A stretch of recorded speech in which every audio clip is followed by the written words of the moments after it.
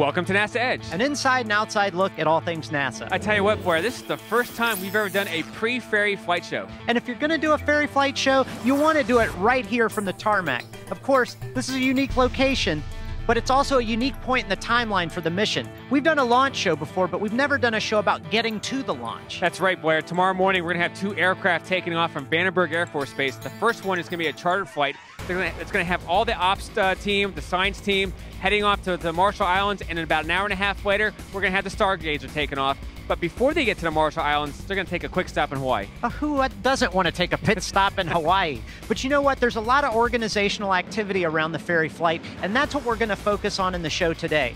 Franklin is going to talk to Jessica Bailey. She's the lead mechanical engineer for the Pegasus rocket. And then I'm going to talk to Ed Dunlap, the senior program manager for the L1011. And of course, you get to talk to Don Walters, the pilot. I can't wait for, uh, for that interview because uh, he, he does a great job when he flies that L1011. Absolutely. And finally, we're going to have our very own Tiffany Nail and Mic Woltman. They're right behind us on the stair truck, and they're right next to the Pegasus rocket.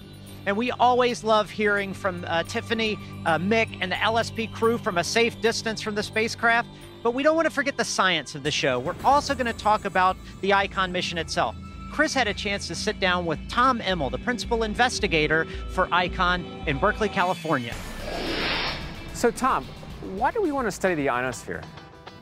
well, that's a good question. So, the ionosphere is the densest plasma in space between us and the sun.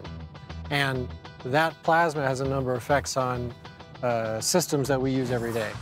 So the coolest part that I like about this particular mission is that you got to have an understanding not only of the Earth's weather, but also space weather, because they're really kind of combining, you know, in between the ionosphere. I mean, that must be really difficult or a challenge for you to kind of understand the ionosphere. That's right. So space weather is a is a big topic, and when it stirs up the ionosphere, it's hard to maybe see other sources that are driving these changes in the ionosphere. But 95% of the time, space weather is pretty benign and quiet. We don't have a space hurricane every day. We do find that the conditions in the ionosphere are hard to predict anyway. We think that's probably because there's another mechanism driving the ionosphere, and we think it's the lower atmosphere, actually. So when you have these storms coming towards the Earth, and you'll be able to make better predictions, let's say for GPS, for communication systems, because sometimes those will kind of get out of whack or they actually can get damaged during, a, during a, strong storm. Well, there's three sort of effects, but some of the major effects are, like you said, are, are communications. Okay. Because the ionosphere can get stirred up and become very variable, and then the, we generally use it to bounce signals off of all the time right. for long-range communications, and that can be adversely affected.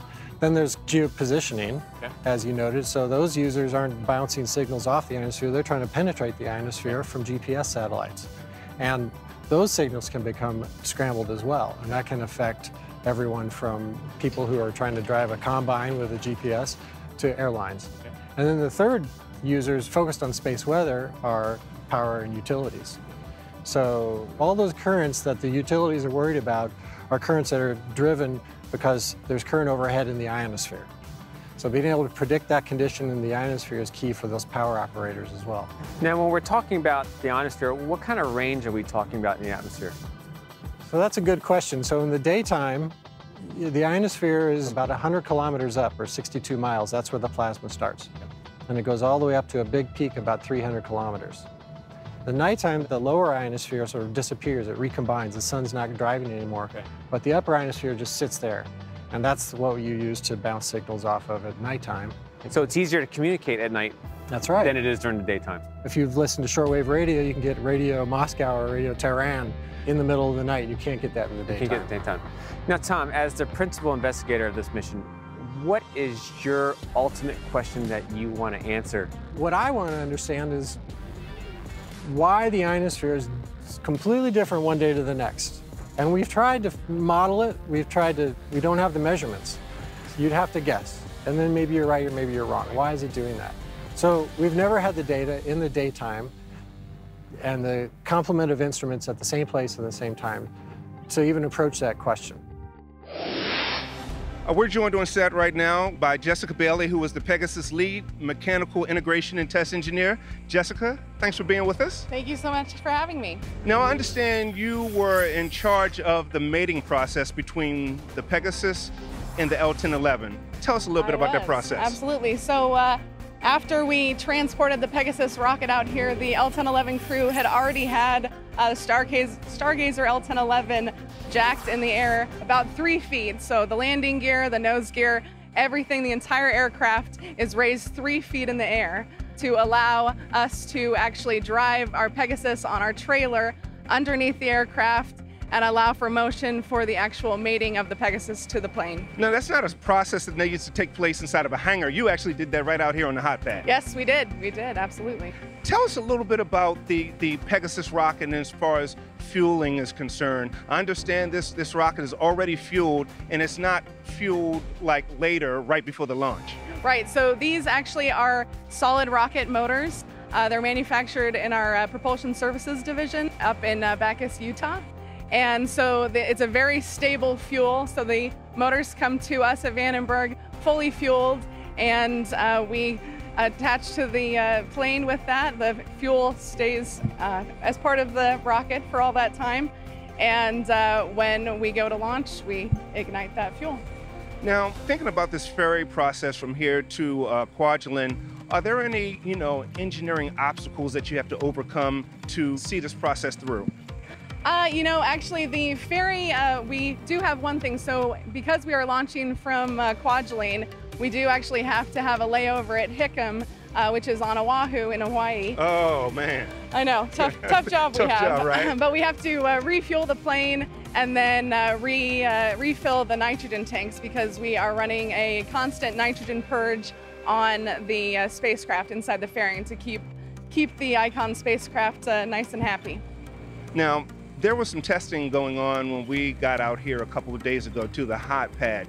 Can you tell us what type of testing that has gone on here uh, over the past couple of days? Yeah, so we uh, yesterday we finished up the combined system test. So that is the first test that we do of the uh, the orbital ATK Stargazer L1011, the uh, orbital ATK built uh, Pegasus rocket, and then the orbital ATK built uh, satellites. Uh, Right. So this is that's another exciting thing about this mission is that everything is orbital ATK. So it's a 100% orbital ATK mission. Hey, well, Jessica, glad to have you on the show. Wish you and your team a safe flight out to Kwajalein, and uh, we'll talk soon. All right, thank you so much. Right now, uh, we're going to go to an interview that Blair did with Ellen Taylor over at Berkeley. Ellen, as systems engineer on a project like ICON, tell me a little bit about the challenges you faced. So I think the project like Icon is actually is challenging, but it's also a lot of fun. And one of the unique things about what we did for Icon was we brought a whole bunch of different instruments together. A lot of the instruments have been flown before; they were heritage instruments. But the unique thing is putting them all together into one package, into a very small space. So one of the things that we did was put all of these different instruments on a single platform, and they had to all look at have their different field of views, make sure that they were looking where they were supposed to. I guess that's a big part of the challenge when you have these science requirements, and yet you've got, you have to fit all these instruments in. H- how do you work with the scientists to make sure that those objectives aren't compromised when you're trying to fit this unique launch vehicle? I think it's a lot of give and take. I mean, I think we have a lot of discussion with the scientists and trying to figure out exactly what they want and the requirements that they need from these different instruments. And so I think it's a lot of back and forth. I think there's initially, you know, some these are the requirements, and then we go back and tell them, well, you know, this, it's not going, that's not going to happen. And because of the different, you know, the way that things have to come together, then they come back to us, and you know, we kind of just figure it out as we go along. What are the kinds of instruments that you actually ended up putting on the final version of ICON? So there's three imagers, and then one ion velocity meter, the IVM, and that's from UT Dallas. The instrument is actually taking measurements right at the spacecraft. The other im- imagers are one's a Michelson interferometer, that's called the MIGHTI instrument from NRL. And then there's a far ultraviolet and extreme ul- ultraviolet instrument. The far ultraviolet is FUV, that was built here at Berkeley, as was the EUV, which was the extreme ultraviolet instrument. How will you transition uh, once you're launched and once you're in space to getting to an operational phase, if you will? Tell us a little bit about that process. So that's actually one of my favorite processes. I I love the you know the couple of days, couple of um, weeks right after uh, we launch. And so the Mission Operations Center, which is here at UC Berkeley, we initially, you know, watch the launch. There's some very minor commanding. A lot of the initial work for the spacecraft, which is kind of deploying the solar arrays. Um, that's actually all done autonomously. So we're not doing that through commanding. But then after that, kind of day by day, we start to bring both the spacecraft and then also the different instruments online. And so it's initially 24 7 operations. We're talking to the instruments and the spacecraft kind of as many times as we can, as many times as we see it go overhead. And then we kind of back off after a month after launch. We sort of back off and kind of let the scientists come in and do their job, and we step away and hopefully everything's working. Now, let's say, you know, six months into the mission, they're getting some data and they see interesting things and they, they want to change things. Are, are you still involved at that point or how does that work? Absolutely. So we're, you know, it's, it's, there's an advantage in that a lot of the engineers that built the Icon and built the instruments are actually here at Berkeley. And so that's also where the mission operations is and that's also where the scientists are. And so there's a lot of, we want to change different high voltage settings or if we want to, you know, to have the spacecraft do something else. So we have all that capability here and we just go down, down the hall and the scientists can come talk to us or pulled in. That's great. Now, I've got one, one more question for you in particular. So you've helped put all this together and help the scientists meet their objectives. When do you say, it's done, I'm, I'm finished, and uh, good job? Um, so it's a good question. So I think a very exciting moment is right at launch. I think a very satisfying time is after you hear back from the scientists and you kind of you see a lot of the papers published and you kind of see that going on and you know even 10 years down the road you know just you kind of hear and you know of new discoveries that are coming out and that's makes it very satisfying. Joining us now is Ed Dunlap, who's the Senior Program Manager for the L1011. The last time we spoke, Ed, it was before the Cygnus mission, which took place or launched uh, out of Florida, out of the Cape. Uh, how is something like going to Kwajalein different from an operations standpoint? Yeah, good question. So basically from a rocket standpoint I, and, and how we um, prep the airplane, it's the same. But logistically, it's hugely different. I mean, for one thing, we're going out of the country. And uh, it makes you appreciate just what an airline does for you, taking care of all the details. For example, TSA, leaving, getting back in the country. Uh, even though we're going to a military installation, we're leaving the U.S. and going to the quadrant, the Marshall Islands. So we have to export everything and then import the things that we're bringing back. Not the rocket, of course, but everything else that we have on the airplane. Yeah, do you have to uh, explain that, like how you're taking this big asset out yes, of the country and then you're so. not returning with it? In great detail. and uh, very thankful for a lot of people that we have that know how to navigate those processes with the government to be able to get that done. And I, I imagine uh, when you're at Kwajalein and you take off, like how far do you have to fly out into the or over the ocean rather uh, to ma actually make the launch? Yeah, in this particular case, uh, where normally we're about 90 miles off the coast. I think we're about 120 miles. Uh, I think that's about it for, for Kwajalein. So it's a little bit further. And then, of course, it's night. So you're out over the middle of the Pacific Ocean at night. Uh, so uh, highly dependent on our navigation systems and things like that that we have on board. And of course, it's a much shorter runway in Kwajalein than any place else we operate. Well, and I, I, noticed just as a layman that the Pegasus doesn't clear the ground very much, so landing no. has got to be very challenging. You know, from a, I think, and the pilots can of course answer it a lot better than I can, but I think from a uh, the way they fly the airplane, it's really not a whole lot different. Of course, they want to be very gentle yeah. uh, when landing. of course. of course. Now, I'm wondering, like, are you actually going? What kind of team are you actually taking out to yeah. Kwajalein? Uh, well, uh, of course, we have the Pegasus team, which includes the rocket engineers and launch panel operators and ground support technicians. In addition to that, from my perspective, we have aircraft technicians that we have to take because, again, as same thing with any place we launch from, we have to have 24-hour coverage. So from the time that rocket was on the airplane, there's somebody from uh, the rocket side and also from the airplane side on the airplane 24 hours a day. In addition to that, I'm responsible for uh, making sure the flight crew is trained and ready. And so we've used the simulator, as you saw yeah, the yeah. last time we were together. Uh, we've used the simulator not only to get the flight crew current, but to practice the launch and the launch profile. Remember, this is a three-person crew. We have a flight engineer position. Because we don't do that many launches, we like to get them the experience of uh, what it's like. So we have two full crews on board as well. How do you determine who gets to fly during the drop? Uh, you know, I leave that one up to the chief pilot. Oh, and I'm sure he's qualified. Yes.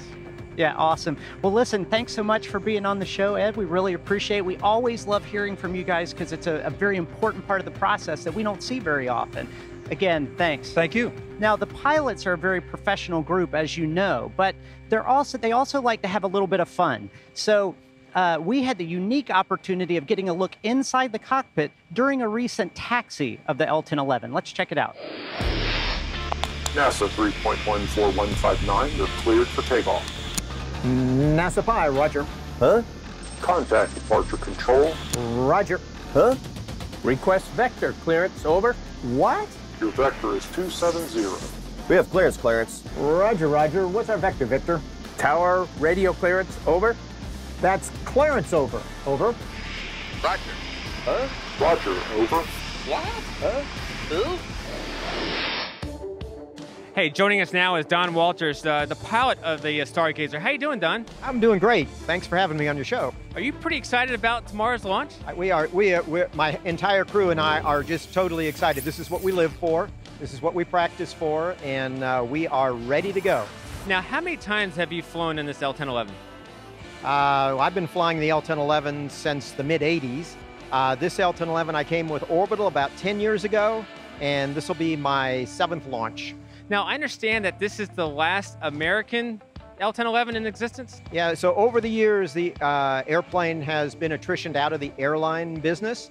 Uh, Orbital bought this for a specific pur purpose 25 years ago and is maintaining it, but it is the last U.S. registered L1011 left flying. Now, what, what, is, uh, what makes this uh, L1011 unique to the Pegasus launch vehicle? Well, uh, back when they came up with the idea of launching a rocket from an aircraft, they went in search of an aircraft that could do this. The L-1011 has the unique, a couple of unique characteristics. One, if you take a look back at the airplane, it's high enough off the ground that we can actually put a rocket underneath it.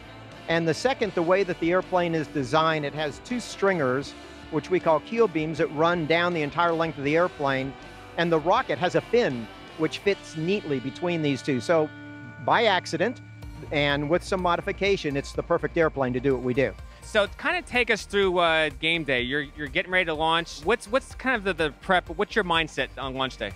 Well, it's a very long day, uh, very scripted. So uh, on the launch day, our launch is going to be about 2 o'clock in the morning. So we'll get out to the airplane probably about 8 that evening. And follow, it, it's a very long, calm procedure to get the aircraft and the crew and all of the systems transferred from all this ground support equipment you can see onto the airplane. Right. And then uh, we go through several rehearsals in our mind. Right, right. And uh, it's a 59 minute flight from the runway in Kwajalein, a very precise kind of a racetrack pattern, if you will, uh, to the launch point. Now, you're, you say you talk about this racetrack pattern. So what's the launch window for, for this mission?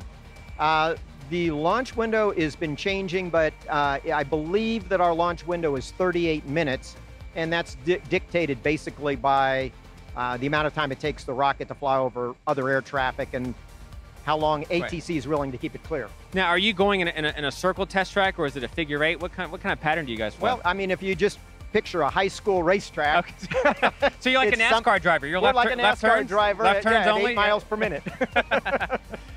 Now, Don, I want to thank you so much for taking your time out. I know you're a very busy person, being a chief test pilot here for this mission to come out and talk with us today, and I really appreciate that. And have a great flight to the Marshall Islands and enjoy that, that day in Hawaii. Absolutely. I tell you much. what, you know, we've been talking about the L1011 and the Pegasus, but you know, our very own Tiffany Nail and Mic Woltman, they're right behind the stair truck, and they're right next to the uh, Pegasus rocket. Tiffany? Chris, we are 18 feet for the Pegasus XL rocket. One doesn't get typical access like this to the Pegasus, so thank you, Orbital ATK, for this access. Mic, why did LSP select the Pegasus XL for the Icon mission? So, you know, Pegasus XL is a unique vehicle, and LSP usually uh, selects the vehicle for the spacecraft. And in this case, due to the size of the vehicle and the orbit that was required for Icon, we chose the Pegasus launch vehicle. One of the other unique things about that is we can pretty much launch this vehicle from anywhere in the world, Tiffany. Now, Mic, you point up a good point. Where has NASA, what is our history? How many missions have we matched the Pegasus XL and launched? And where are the locations that we launched from?